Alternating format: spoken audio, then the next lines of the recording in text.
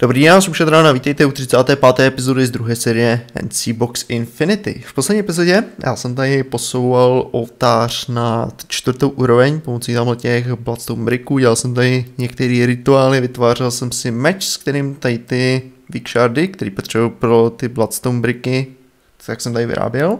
A taky jsem tady teda dával jsem tady k tomu oltáři vičky, který se tady teď regenerují kontinuálně, což mi teda pomáhá naplňovat teda pomocí jednoho rituálu Well of Suffering tady pod tím oltářem, právě tady ten oltář krví. Takže to máme teď plný krve, já jsem do toho šopnul před chvíli orb, asi jak před deseti minutama a mám půl milionu krve teď ve svém soul networku, takže paráda. Taky jsem tady teda nechával vyrábět některé slajty, těch máme teď hromadu. A vzhledem k tomu, že tady ten systém je tak dobrý, tak jsem si říkal, že asi nebude takový problém udělat hromadu dalších run a povýšit tady ten oltář na pátou úroveň, takže jsem to tak nějak udělal, vůbec nějak extra to nebylo těžký, teď máme tier 5 a není to vůbec nic těžkého, akorát potřebujete vlastně 13 run na každou stranu, takže něco jako 52 run, potřebujete to dva bloky, tři bloky, jeden, dva, tři bloky tady od, toho, od té poslední runy a zase jeden blok dolů a do rohu dát takhle a beacon. Je to teda udělané tak, že tady ty dva bloky nejsou runy, ale je to v podstatě tak, že potom můžete dát normálně pyramidu a aktivovat tady ten beacon, kdybyste náhodou chtěli. A já to tam dávat nebudu, protože se mi ty eh, beacony paprsky moc nelíbí, když jsou takhle blízko spawnu, by to třeba odvádělo pozornost. Možná jednou za čas spustíme Growy, ale každopádně to teda nechám vyplý. Takže máme pátou úroveň, a máme zničenou kitku, sorry kitko, vítej zpátky. A já bych se teď teda chtěl podívat na to, kvůli čemu jsem v podstatě Blood Magic tak nějak začínal a co jsem vlastně od toho, toho chtěl, což teda bylo a vyvolávání bossů pro můj dungeon. A k tomu teď se přesně podíváme. OK, tak jo, jak se podíváme teda na tady to craftění, tady těch bossů a co já teda budu všechno potřebovat, tak jednak budu chtít teda a, nějaký systém, jakým se budou vyvolávat, aby to zvládnu každý teda, co bude procházet ten dungeon. A k tomu já teda budu potřebovat zase tady ty weak shardy a budu k tomu potřebovat tady ty arcane pedastaly, konkrétně 7 kusů, možná ještě o 6 víc, mám takový pocit dokonce, OK, OK, víc obsidianu. Máme ho málo v systému, jenom 642 tisíc určitě jako bude scházet tady ten stack, co jsem si právě nenávratně půjčil. ok, tak jo, takže máme všechny pedestaly, co já budu potřebovat. A tady to teda já budu dávat v takovém rozpoložení na zem, akorát ještě tady vytuníme jeden na druhou úroveň, což je Arkan Plint. A tady to je vlastně jako středobod tady toho vyvolávání. A tohle dělá blesky, to jsem pokládat radši nebudu. bych si zase spal střechu, ty, už to vidím. A, takže to je jedna věc, takže já to asi začnu teda vyskládávat někam ven, jak to tak vidím. Třeba někam, třeba někam, střecha je v pořádku, ano. třeba někam do Blood Magicu, ok. Skleněná střecha, to vydrží, ho je. Poslední slova před smrtí, než mě holo přijde zabít, ok. Tak jo. Takže tady to je v podstatě takový základní rozpoložení tady, tady toho vyvolávání. Je to vlastně z a, první úroveň. Já mám ještě šest dalších, takže to ještě budu poturovat na druhou úroveň. Ale předtím teda, a co budeme na tohle potřebovat? Tak jednak takhle orb, který přijde takhle prostřed, který se tam takhle krásně bude točit ze strany, na kterou se na něj podívám. Ale vlastně teda to je aktivátko, kterým tam je potřeba mít k tomu, aby v podstatě a se to spustilo. A teď teda, co já budu potřebovat, tak je přísady, které budu chtít mít tady na těch pědestalech, které jsou okolo. A podle toho, který přísady tam dám, tak mě to vyvolá jednoho z démonů z Blood Magicu a jeden z nich teda bude boss. Takže já bych asi začal tím, že bychom se podívali teda na pár těch základních a potom teda se snad dostaneme k tomu, který ho chci vyvolat. Tak jo, tak se podíváme teda na tvorbu tady těch surovin pro ty bose. Takže první, co já budu potřebovat, tak je a normální brewing stand, nějaký obsidiany a orb. Sem. A to mě vytvoří i ten alchemical chemistry set. Těch já udělám 6, jenom tak pro sichr, naplácám to třeba někam takhle sem. Dejme tomu. Mohlo by být, ok, ok to jde, jde. A tady teda já budu vařit ty jednotlivé přísady a tady teda já budu potřebovat vždycky nějaký základní materiály, k tomu bych to teda mohl začít vařit a potom nějaký orb. A na to, co já teda budu vytvářet, myslím, že stačí třetí, druhá úroveň, něco takového, Myslím, že tady nahoře mám některý vyrobený tady ty věci, takže tady počíme pár plat orbů druhý úrovně. A ono to teda bude zase krev z mýho solo networku. Mimochodem, jedna věc, teda, která, se, která je teď ve vývoji, tak je tady ta místnost, která se teď rozšiřuje. Já už jsem sem teda naházal některé věci, dal jsem sem některé popisky k tady těm sigilkám, aby každý, kdo tady přijde, tak věděl, co to dělá. Eh, ještě tam teda nemám všechny, takže to ještě tak nějak nebudu popisovat v podstatě, co člověk má dělat a jak to tady bude fungovat, dokud to nebudu mít všechno, ale už se tak nějak blížím, třetí úroveň mám celou hotovou, tady to je vlastně čtvrtá, pátá úroveň, tady akorát mám názvy toho, co tam budu chtít dávat a mám tam teda zatím jenom Sigil of Haste a Sigil of Whirlwind. Takže to tam ještě budu muset přidat. To je akorát v rozvoji, potom ještě tady nějaký orby, potom ještě tady nějaký uh, ritual stony, nějaký diviner, dismantler, něco pro nějaký rituály prostě. Tak a tady dole teda bude vaření. A tady teda, co já budu vařit? A nejdřív asi budeme muset naklikat tady ty orby do toho. Ale vlastně co já budu vařit? Tak z Blood Magicu já budu dělat tady ty přísady. Tady to, tady to, tady to, tady to, tady to určitě taky. Simple Catalyst myslím, že je potřeba teda eh, jako takový základní přípravek, tady zase vidíte, který potřebujete, kolik vám to sežere na jednu, v podstatě, jeden výrobek, v podstatě co děláte. Já mám teď půl milionu a jeden výrobek jí 200 LPček. Takže myslím, že žádný problém. Takže já si klidně tady teď teda můžu vzít nějaký cukr, dejme tu dva staky, nějaký redstone, raz, dva, tři, čtyři, nějaký glowstone, a jeden, dva staky, nějaký gunpowder. 260, 226 tisíc, ok, ok, dost dobrý. A to tady teda můžeme naházet, k tomu teda orb, který je podepsaný, boom. Tak a tohle teda začne vařit, paráda. To samý můžeme dát sem. A tady to je teda nejzákladnější jako ingredience, co je potřeba právě pro tady to vaření, tady tu alchymii z Blood Magicu, což je Simple Catalyst. Potom z tady toho Simple Catalystu se dělá celkem docela dost věcí, hlavně teda tady těch přísad, které já budu dělat, Incendium, Aether, Sanctum, Crepol, Crep, Creptius, ok, Creatolius, Terra je Aqualus, Tenabri, Magiclease a tady to už je potom na poušny. Takže to jsou teda ty základní přísady. Ještě něco. A je tam teda ještě jedna věc, což je taková podstatnější, a to je teda druhá úroveň tady toho katalystu. A potom z toho se dělají takové složitější věci a tady ty aspekty potom můžete jako rozdrcovat a tu nic s tím ve směs nějaký rituály a takové složitější věci. Takže nic, nic komplikovaný, ale ve směs a to dá celkem zabrat, celkem to zabere čas. Každopádně tohle je celkem jednoduchý, myslím, že my si vystačíme úplně jednoduše s tím základním katalystem. Takže to je první věc, co budu potřebovat. Tady do toho asi taky šupnem orb. A potom teda, a co já asi budu chtít vyrábět jako první. A toť otázka. Když se na to podíváme, jestli to poznám podle obrázku, Teda, mám takové, jo, jo, to je ono, to je ono, jo, určitě, určitě, obsidian, písek, halína. A obsidian, písek, máme dirt? Máme 110 000 dirtu, ok. Že by to bylo takhle v tom, tady tom rozpoložení? Vaří to? Nevaří to? Něco špatně. OK. Se to podívám ještě jednou. Dva obsidiany. OK, OK. Víc obsidianů. Tak. Vaří to?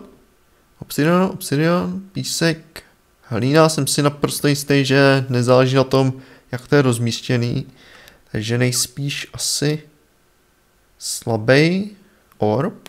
Obsidian, obsidian, katalyst, písek, písek. Tohle je coarse dirt. Aha. Máme obyčejnou dirt? Máme obyčejnou dirt, ok. Dobrý. Už to vaří? Už to vaří. Perfektní. Tak jo. Takže to je první věc teda, co, co je tady možný vyrobit. A já to asi rovnou vezmu. Vezmu si k tomu klej a koukneme se teda na prvního tady toho démona, který je asi úplně nejjednodušší, úplně nejslabší a celkem jednoduše se dá zmáknout. a úplně jednoduše na tom bude snad vidět teda, jak tady to funguje. Takže co já budu potřebovat je akorát teda takhle dát tuhle sem. Já mám takový pocit, že půlka té textury není vidět, když se to takhle otáčí. Tohle dáme sem a to je vlastně všechno, já jsem můžu dát tohle. A Tady ta surovina je asi špatně. Sakra. Ok, ok, ta surovina není špatně. Je tam vážně teda, ale chce to dvě. Tak. Šákla to teda vyvolá prvního démona. Bum, bum, bum. Sní to všechny suroviny, poslední blesk. A vytvoří se první Earth Golem, který na mě bude dávat slovné strojku a bude mě takhle krásně dávat za jiná půl mám takový pocit, že to dává, když člověk nemá armor, já mám armor, takže celkem v pohodě to tankuju a můžu celkem v pohodě taky killnout. A dostanu tady ten Demon Crystal. To je nej, úplně nejslabší boss, který v podstatě tady v Blood Magicu je, nebo respektive démon, démon, je to démon, je to démon. A co je tady ten krystal, co jsem z něj dostal, ještě bych taky mohl se zmínit, tak to je vesně teda uh, věc, která mě ho dovolí znovu vyvolat. Jak, jak, jak to jde, kámo? Je to dobrý? Dobrý. Oh yeah. Pacák na to. Pacák na to, kámo. A, jdeš do mě? Oh, boj, boj. OK. tak jak si můžete všimnout, teda, když já ho vyvolám znova, tak on není nepřátelský, neutrální. A pokud bych tohle chtěl změnit, tak já si můžu vzít tady Weak Blood Orb, nakrmit ho a on se teda stane mým petem, takže já na ní můžu kliknout a on se rozběhne za mnou, teď funguje v podstatě jako můj pet a já mám takovýho menšího obránce. A zase se teleportuje. Když na něj znova kliknu, tak by měl tady zůstat, stejně jako když posadíte psa, funguje to úplně na stejném principu a já tady mám teď démona, který tady bude sedět a můžu ho strčit třeba takhle do rohu a nechceš se otočit třeba takhle, abys někoho přivítal, když sem přijde? Ne? OK, OK. Tak, takhle to stačí, koukat do rohu, OK, OK. A hlídej to, hlídej to, ať, tady, jo, dobrý, otočil se, perfektní. Takže to je první démon, OK. A já bych teď teda chtěl uvařit všechny přísady, který bude potřeba teda na tu první ligu těch démonů, těch slabších a chtěl bych je tak nějak postupně teď všechny vyvolat. Tak jo, o chvíli vaření později. Já mám teď teda všech 8 přísad, které jsou tady speciální pro Blood Magic. Incendium, Aqualus, Terrae, Sanctus, Certus Cryotis, přesně jak se to jmenuje. Magicalis, Aether a Tenabri. Takže tohle jsou všechny přísady, která, které já budu potřebovat uh, z Botmagicu, pro tady to vyvolávání tam teda ještě pár přísad, co se týče normálního Minecraftu, jako je clay, a bucket, lávy, netherrack, železo, koska zlata, takové věci, nic extra těžkého. Takže se pustíme teď do vyvolávání. Tak jo, první vyvolání, padly anděl, což bude teda potřebovat uh, o jeden víc Sanctus, než mám. Ups. Ale vlastně teda potom jeden Aether, jeden Tenabri a jeden Terae. A to by snad mělo být všechno. A po chvíli bleskování v bouři, která je přírodně udělaná, tak uděláme nějaký syntetický blesky. A vyvolá se přímo tady ten borec. A... A je tady, oh je. Padlej anděl, přesně tak. damage na dálku, myslím, že to je něco jako 2,5 damage vypadá jako zlatý ingot skoro, kdyby po mě házel. Každopádně myslím, že se tomu dá uhnout, jo. A 50 životů, nějak extra, není problém sundat na pár run mečem. Oh yeah. OK, druhý boss, který ho vyvoláme, tak bude potřebovat jeden Terae, jeden Tenabri, nebesům se to vůbec nelíbí, dvakrát Cobblestone, jeden Gold Ingot, teda jeden Gold Nugget a jeden Iron Ingot. A tohle by teda mělo vyvolat Lower Guardiana. Tak schválně. Poslední nugget. A Lower Guardian, oh je, přesně tak. Ten borec by mě měl vyhazovat do vzduchu, to by měl být jeho efekt a měl by mě být schopný vyhodit tak vysoko, že by mě to mělo dát damage něco jako nějaký extra full damage, něco kolem 8-9 sedíček, takže celkem dobrý, vypadá, že je celkem pomalej, občas se rozmyslí kam jde a když mě netrefí, jako můžeme takhle krásně sundat na jednu ránu. To vypadá OK. Tak to máme teda dalšího démona. Tak jo, z východem slunce přichází třetí démon, na který je potřeba jeden Sanctus, jeden Aqualius, jeden Cryosaltos, to je ono, Cryosaltos, určitě. A jeden Terrae. A tohle všechno dohromady vyvolá ledovýho démona. A je něco jako druhý nejlepší střelec z těch démonů. Tak, bum, tada.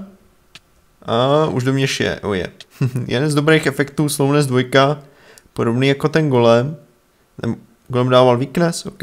Každopádně tady ten démon má celkem výhodu proti těm ostatním, že je strašně rychle, takže dokáže doběhnout člověka, vystřelit po něm párkrát, zmrazit ho. Myslím, že s normálním Minecraft běháním je celkem obtížný mu utíct. Takže to je Ice Demon, který ho taky šuhneme mečem a instant killnem. A podíváme se na dalšího. Tak a dalším bossem teda, na kterého bude potřeba jeden Tenabre, jeden Teraje, jeden uh, Sanctus a milovník masa, dva steky, jedna kost. Tak bude nejvíce zvířecím vzhledem se podobající démon, který se jmenuje Boulder Fist. Mám takový pocit? Jo, myslím, že to je oficiální jméno. Boulder Fist. Tak, je tady, je. Co on dělá, je, že teda by měl mít efekt jako pavouk, jo? Že takhle na mě skočí a že mě dá něco jako 3,5 srdíčka, že celkem dobrý, celkem dobrý, myslím, že možná, že občas se zastavuje celkem podivný vzhled, ale rozhodně s 50 životama myslím, že celkem fajn. Tak, teď jsme měli pátýho, nebo když počítám svýho golema šestýho démona. Tak, konečně teda poslední démon z té nižší ligy, tak bude potřebovat třikrát tenabrí, jeden aether, jedno sklo a jednu skleněnou lahvičku. A tohle teda dohromady vyvolá Shada, což myslím, že je démon, který má nejvíc životů právě z těch, z té ničí ligy démonů. Takže myslím, že taky asi největší výzva, podle mě. Uvidíme, co, co bude dělat. OK. Dobrá rychlost, celkem reakce podobná jako u ostatních démonů. Vypadá to, že vždycky chargeují do toho místa, kde jsem. Ukaž damage. OK, OK, OK. Já myslím, že má uh, útok založený na zombie a že v podstatě jakmile u člověka ho dokáže napadat v okamžiku, kdy stojí vedle něj a dává teda damage 3,5 sluníčka, 100 životů, celkem solidní, vydrží 3 rány, na čtvrtou končí. tak jo. Tak to by byly tady ty slabší démoni. A já bych se teď teda chtěl podívat a na tu druhou ligu, kde jsou teda už jenom dva.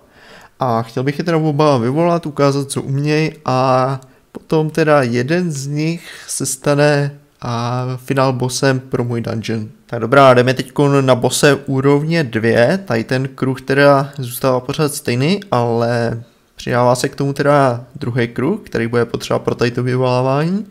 A vesně teda tady to, jak se dává, tak tady je vždycky tři mezera, tady je dva mezera a jedna mezera takhle mezi tady tím. Tady v podstatě se dostanete takovým elkem, tři takhle, tři takhle, jste tam. A to samý teda na každé straně zase tři, tři, tři elka. A tím teda vytvoříte druhý kruh. A tady do toho teda a je potřeba a lepší aktivační tady ten orb, který budeme potřebovat. Ale vlastně teda a na prvního bose, co budeme potřebovat, tak je Poisonous Potato, Rough Pork Chop, Rough Beef, vejce, pan je gurmán, mhm, přesně tak, tenabrý, tenare, tera, terae, ter, a do druhého kruhu, terae, je to vlastně jedno, jak já to tam dám, ale vždycky tady těch šest musíme v prvním kruhu a těch šest dalších musíme v dalším kruhu. Potom je tam teda Crepotius, dvakrát, dvakrát Iron kostka a jednou zlat, jednou tady ten diamant. A tady to teda je celý vyvolávací proces, akorát, že já budu potřebovat a orb, který bude další úrovně, což bude teda a tady ten Archmage's Blood Orb. K tomu teda budeme potřebovat Demon Chart a ten teď teda budeme vyrobit. Tak a jak teda získáme tady ten poslední komponent pro tady ten orb, tak to je úplně jednoduchý. Vesměs jsou ty věci, co jsem právě teď používal pro vyvolávání. Tady, tady ty věci v podstatě, co teď mám na nástěnce. A je tam teda šest elementů, který je taky možný pomocí tady toho vyvolat a jeden z nich, teda vlastně všichni z nich, ale já budu dělat jenom jednoho, tak má možnost právě tady ten a item dropnout, tady ten demon chart. A je možný teda použít Incendium, Aqualus, Sanctus, Aether, Tenabri a Terrae. Ano, to jsou teda všechny elementy, tady těch šest, tady ty tři další teda už nic nevyvolávají a vlastně teda je, je, akorát vezmete šest kusů od tady toho a dostanete se do nějaké oblasti, kde zase tohle můžete vyvolat. Je to úplně stejný v podstatě postup, potřebujete zase takhle mít šest těch pědestalů kolem toho hlavního pytalu a na to teda hodíte zase Master Orb, boom, a začne to teda vyvolávat místo démona tady toho bose. Tak, si na ní teda vytáhnu svůj luk a šípy, ok. A vlastně všichni tady ty elementové mají jeden společný efekt a to je teda, že ignorují armor. Musí si teda na to hodit buff, ale vlastně potom dokážou člověka zabít na dvě rány. A potom teda každý z nich má a, takový specifický efekt pro sebe. Tady ten, co jsem ho právě volal, tak dává teda a, efekt, že člověka vyhodí do vzduchu. Jak se zabít, kámo? OK, je po něm. tak a s trochou štěstí snad dropnu to, co budu potřebovat. A s trochou smůly zabijeme ještě tak další dva, než to dropu. A je dobrý teda používat looting, pokud něco takového... A, to je ono, oh je. Demon Chart, perfektní. Ale looting je vážně lepší používat na tohle. Tak jo, tak to bychom teda měli. Tady to můžu vytáhnout. Tady to do toho můžu hodit. Chce to 75 tisíc krve, pokud se nepletu, ale myslím, že tady s tím snad by neměl být žádný problém. Si vytáhnu tady svůj metr. Tady mi bude ukazovat progres. Tak je to teď na 50 tisících, 59, 60 a 62, jo, i, i když to teď nemá krev, tak pořád ta generace to přetlačí, takže žádný problém, jsou 65, 66, 75 tisíc, yep. I když to teď teda občas vypustí do vzduší nějakou tu krev z tady toho craftingu, tak po chvilce teda 11 čarodejnic to tam zase, doprovolných čarodejnic, všichni mají jméno, tak to tam zase přetlačí. Tak jo, tak tady jsme teda měli Archmage's Blood Orb, ten můžu zase podepsat. A teď čas vyvolat jednoho z dvou finálních bossů. Joink. Tak a tady ten boss. A jméno si nepamatuju, musíme se podívat, až se vyvolá. Ale ve co dělá, tak je velice pomalej, ale za to na druhou stranu dává ohromný damage na ránu. Myslím, že to je něco jako 9,5 srdíčka, že vás to stáhne. Takže celkem masakr, takže a jedna rána a je to jako kdybyste dostali poison efekt a stáhlo vás to úplně dolů. Což myslím, že je celkem dobrý, takhle vypadá. Čau boče, jak to jde? Boče, boče. Oje. Už je hned jasný, proč potřebujete rock, raw pork chop a beef a vejce k tomu, abyste tady toho borce vyvolali. Takže je strašně tlustý. Mhm. Boče, boče, chceš si bouchnout? Boče, boče. Boj? Boj?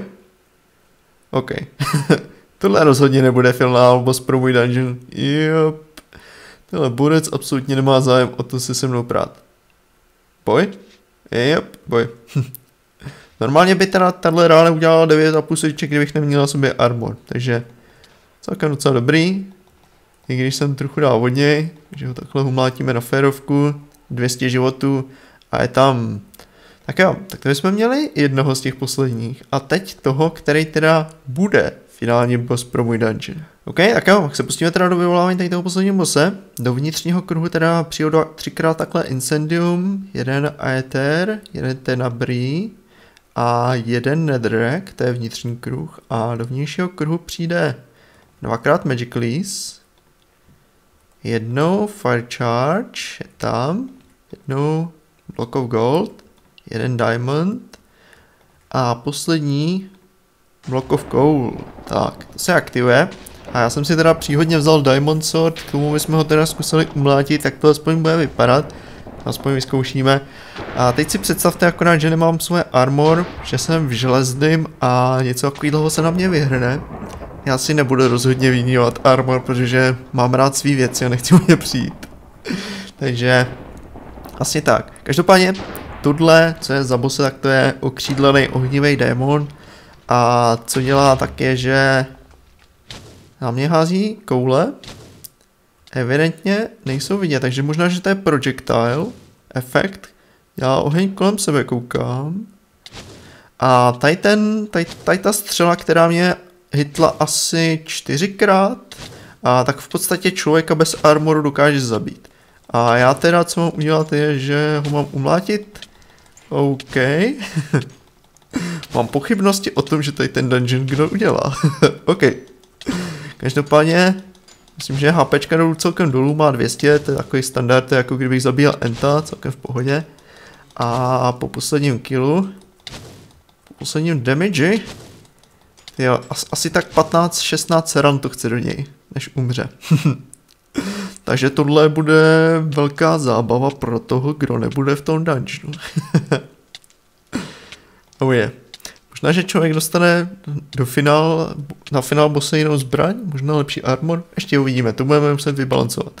Každopádně, tohle je teda, co by do vyvolávání tady těch bossů, já si tady zbalím věci, aby když tak tady holo nekoukal, co mu tady schořelo nebo něco takového. A to teda jsou všichni bossové, a to teda, co by do vyvolávání, to je, co by teda do... A vážně ještě pořád hořím, to je pekelej, to je teda, co by do vytváření tady toho orbu pátý úrovně, Archmage's Blood Orb. A to taky bude všechno teda za tato epizodu. Takže... Joink, já se s vámi hořícím rozloučím. Takže děkuji, že jste se na ní podívali a naschledanou.